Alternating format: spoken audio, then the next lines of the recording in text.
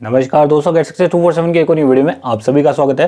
तो फाइनली आपकी वीडियो की ग्राम सेवक यानी कि ग्राम विकास अधिकारी की जो प्री एग्ज़ाम हुआ था, प्रारंभिक एग्ज़ाम हुआ था, उसकी आंसर की यहाँ पे फाइनली जारी कर दी गई है बोर्ड के द्वारा। तो यही चीज़ें मैंने आपको पहले भी बताई थी कि इसकी जो आंसर की है और इसका जो रिज़ल्ट है, उसका जो कंप्लीट जो प्रोसेस है, वो जनवरी और फरवरी में कंप्लीट कर लिया जाएगा। तो यही चीज़ें अभी आपके सामने हो रही है। अब देखिए, यहाँ पे आपके सामने दिक्कत क्या आ रही है?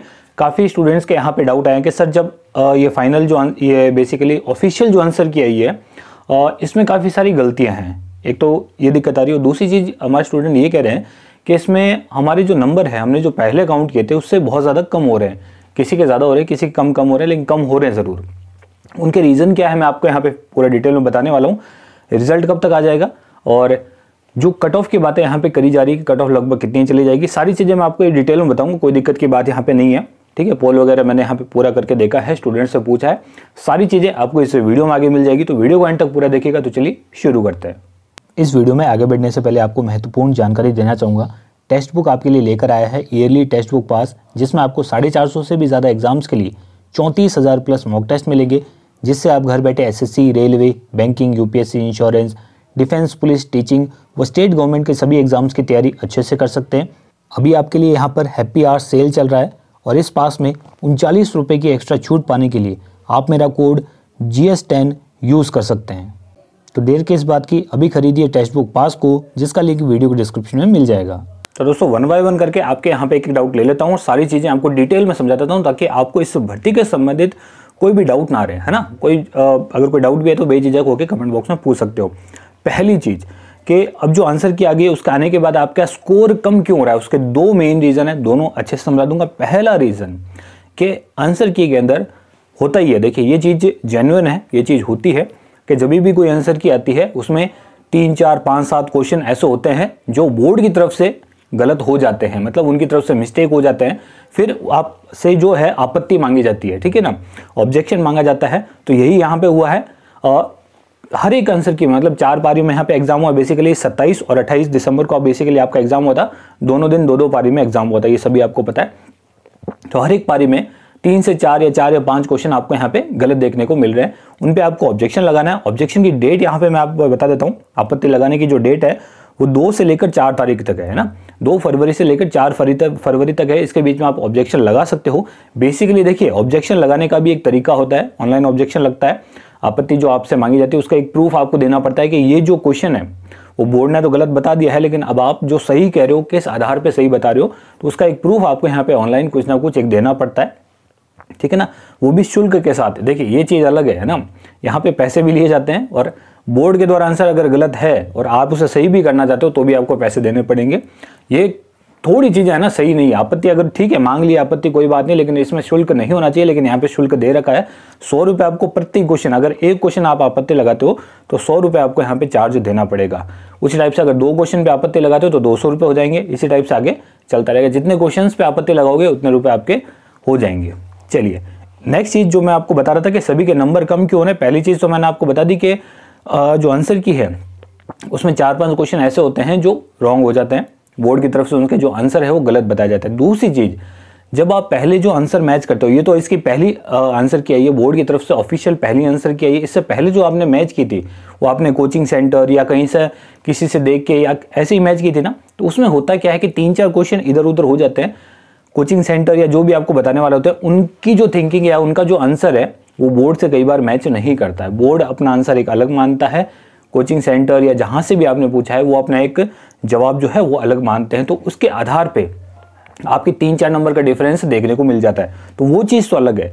अगर यहाँ पे, जैसे आंसर की में देखने को मिला है कि क्वेश्चन रॉन्ग है, उन पे आप आपत्ति लगा दीजिए, कोई दिक्कत की बात नहीं है, ज़्यादा आपके डिफरेंस नहीं आएगा। अब देखिए दोस्तों, जो क्वेश्चंस गलत है है ना, जैसे कि जो आपके आंसर की में क्वेश्चंस जो गलत है, चार या पाँच, जितने भी है, अब उनका क्या होगा? आप जैसे आपत्ति लगाते हो ना, जैसे एक क्वेश्चन पे लगाया, चार पे लगाया, पाँच पे लगाया, जितने भी लगाया, आपत्ति बोर्ड ने देख ली, अब बोर्ड उनको देखेगा। कि क्या उन्होंने उस क्वेश्चन का जवाब गलत दिया है या आपने गलत दिया है, जो भी है वो पूरा उसको एक बार फिर से मैच करेगा। उसके बाद क्या करेगा बोर्ड देखेगा कि हाँ यार, ये तो मेरी गलती थी। अगर बोर्ड ये मान लेता है कि इस क्वेश्चन में मेरी गलती थी, यानी कि बोर्ड की गलती थी, अगर होता है तो उस क्वेश्चन को वहाँ से डिलीट कर दिया जाता है। अब डिलीट करने का मतलब क्या है कि बोनस अंक नहीं होता है। काफ़ी डिलीट को भी बोनस मांग लेते हैं। एक हिसाब से वो बोनस हो जाता है, लेकिन ऐसा नहीं कि उस क्वेश्चन का आपको नंबर मिलता है। वो क्वेश्चन ही डिलीट कर दिया जाता है। फॉर एग्ज़ाम्पल जैसे कि सौ क्वेश्चन है। ठीक है, उसमें से पाँच क्वेश्चन डिलीट हो गए।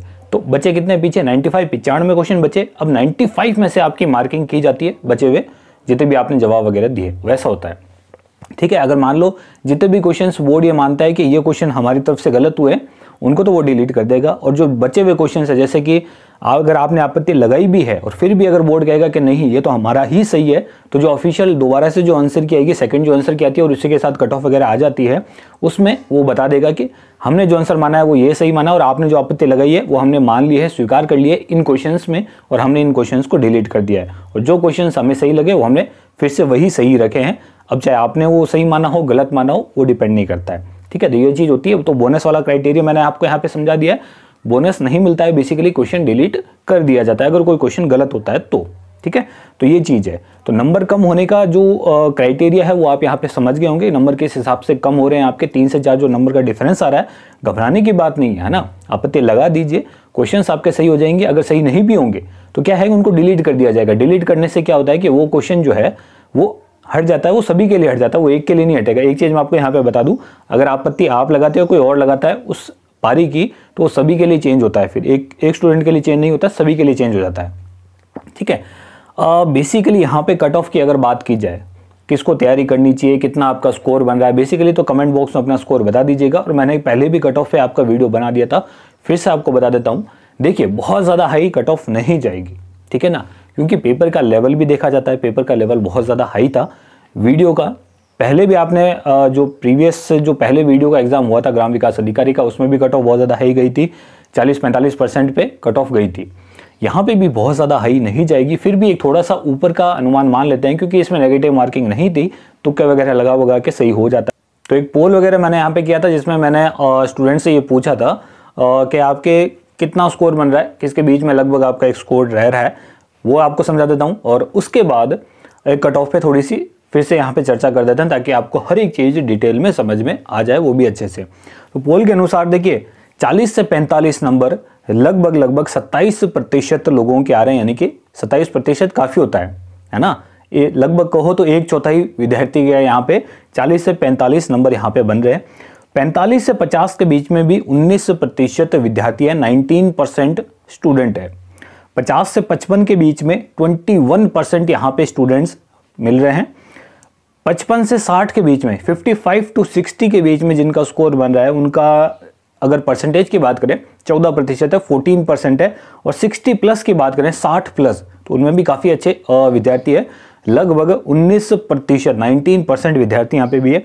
लेकिन अगर मैं मोटे तौर पे बात करूँ कि 40 से लेकर 55 के बीच में कितने स्टूडेंट्स आपको यहाँ पे मिल रहे हैं, लगभग 67 परसेंट स्टूडेंट्स आपको पचपन से नीचे देखने को मिल रहे हैं, यानी कि चालीस से लेकर पचपन के बीच में देखने को मिल रहे हैं। तो एक बड़ा आंकड़ा ये कहता है कि इसकी जो कट ऑफ़ है, वो बहुत ज़्यादा हाई नहीं जाती है। देखिए कट ऑफ़ कहाँ से शुरू होती है? एक टॉपर के आसपास कट ऑफ़ कभी भी नहीं रहती है। ये आप चीज़ें ध्यान रखिएगा। एक लोअर के जो लोअर स्टूडेंट होता है, जिसके सबसे कम मार्क्स आते हैं, और एक जो हाईएस्ट स्टूडेंट होता है, जिसके सबसे ज़्यादा मार्क्स आते हैं, उनके आसपास कट ऑफ़ कभी नहीं रहती, उनके बीच में रहती है।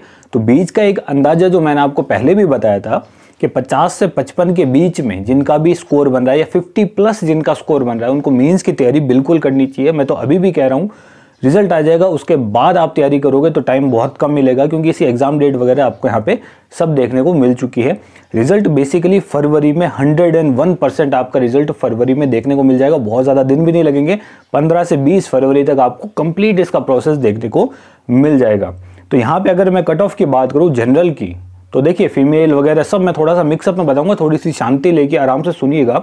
अगर जनरल कैंडिडेट मेल की बात करता हूँ, पचास से ऊपर अगर आपका स्कोर बना है ना फिफ्टी प्लस अब वो पचपन भी हो सकता है, साठ भी हो सकता है तो आपको एक मेंस की तैयारी करनी चाहिए। फिर से वही चीज़ दोहराऊँगा, आपकी तैयारी बिल्कुल भी खराब नहीं होगी। इस साल बहुत सारी वैकेंसीज आ रही है। अभी हाल ही में आपको है कि हाईकोर्ट एल एलडीसी की एग्ज़ाम डेट जारी हो चुकी है, तेरह मार्च को। उसमें भी आपका राजस्थान जी के वगैरह आ ही रहा है, हिंदी इंग्लिश आ रहा है। तो वहाँ पे आपको तैयारी हो जाएगी। तो तैयारी बिल्कुल भी मत छोड़िएगा। आगे आपके R S M S S B की एल डी सी की वैकेंसी आने वाली है। ये तो हाईकोर्ट एल डी सी की होगी R S M S S B की एल डी सी की वैकेंसी आने वाली है।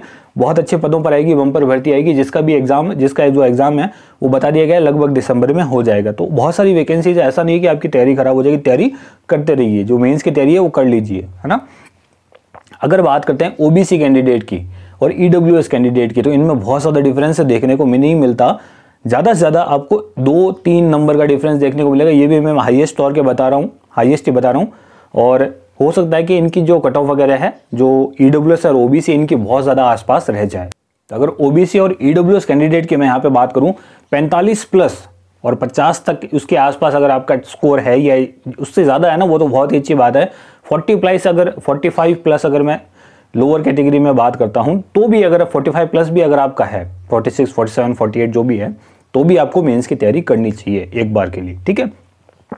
उसके बाद है कि एमबीसी वगैरह आ जाता है एस सी आ जाता है, जिनके मैं 40 के आसपास लेके चलता हूँ 40 टू 45 के बीच में या 40 प्लस आप मान सकते हो। तो ये बेसिकली है। देखिए वुमेन्स की बात यहाँ पे कर लूँगा।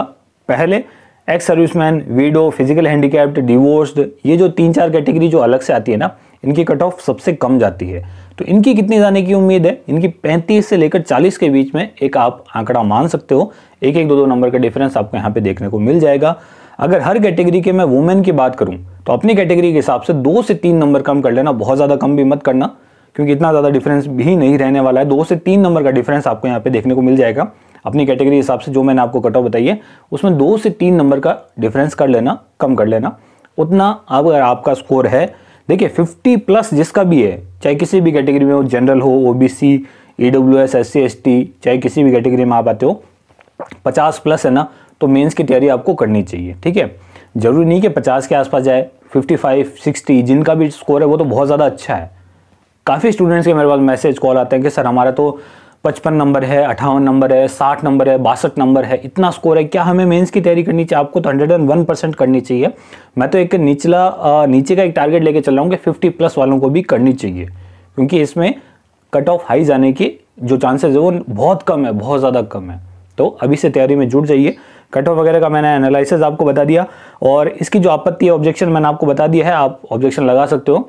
दो से लेकर चार तारीख तक, दो फरवरी, तीन फरवरी और चार फरवरी। तीन दिन आपको यहाँ पे मिल रहे हैं। इनमें आप ऑब्जेक्शन लगा लीजिए, आपत्ति लगा लीजिए, जो भी क्वेश्चन आपको गलत देखने को मिल रहा है ऑनलाइन ऑब्जेक्शन लगा सकते हो, ताकि आपका जो क्वेश्चन है, वो आगे इन फ्यूचर सही हो जाए या फिर उसे डिलीट कर दिया जाए। आपको उस चीज़ का नुकसान उठाना ना पड़े। तो ये सारी चीज़ें हैं। अच्छा कट ऑफ़ कितनी जाएगी? ये बेसिक तो मैंने आपको बता दिया ना, ये चीज़ें डिपेंड किस पे करती है? मैंने आपको पहले भी कहा था कि नंबर ऑफ़ स्टूडेंट्स कितने लिए जाएँगे, इस पर आपकी कट ऑफ़ डिपेंड करेगी। है ना? 12 से 15 गुना का कहा गया था। अगर 12 गुना लेते हैं, एक क्राइटेरिया मान के चलता है कि 12 गुना 13 गुना 14 गुना और 15 गुना। ये चार क्राइटेरिया मैंने यहाँ पे आपके सामने ले लिए अगर देखिए, इन चारों में से अगर कट ऑफ़ की बात करूँ ना तो 15 गुना अगर स्टूडेंट लेते हैं तो कट ऑफ़ कम जाएगी। 14 गुना स्टूडेंट लेते हैं तो कट ऑफ़ थोड़ी सी हाई जाएगी। तेरह गुना स्टूडेंट लेते हैं तो उससे भी थोड़ी सी हाई जाएगी और बारह गुना स्टूडेंट लेते हैं तो उससे भी थोड़ी हाई जाएगी। यानी कि कहने का मतलब क्या है कि जितने कम स्टूडेंट लिए जाएँगे ना उतनी कट ऑफ़ आई जाएगी और जितने ज़्यादा स्टूडेंट लिए जाएँगे मेंस के लिए, उतनी आपकी कट ऑफ़ कम जाएगी। ये बेसिकली इसका रूल है, ये चीज़ आपको पहले से पता है। तो डिपेंड करेगी ये आपके दो तीन नंबर का जो डिफरेंस आएगा ना कट ऑफ़ में, वो इन्हीं चीज़ों पे आएगा कि बारह गुना लेते हैं कि पंद्रह गुना लेते हैं। वो चीज़ आपको बाद में देखने को मिल जाएगी नोटिस वगैरह सब आपके सामने आ जाएँगे। जैसे नोटिस आएगा, आपके साथ यहाँ पे शेयर कर दूँगा। और कोई डाउट रहता है तो कमेंट बॉक्स में पूछ लेना। ये वाला वीडियो अगर आपको पसंद आया तो वीडियो को लाइक, कमेंट और शेयर ज़रूर करें। चैनल पे पहली बार आए हो, पहली बार विज़िट करें तो चैनल को सब्सक्राइब और बेल आइकन को क्लिक ज़रूर करें। तो दोस्तों, धन्यवाद। मिलते रहेगी वीडियो में।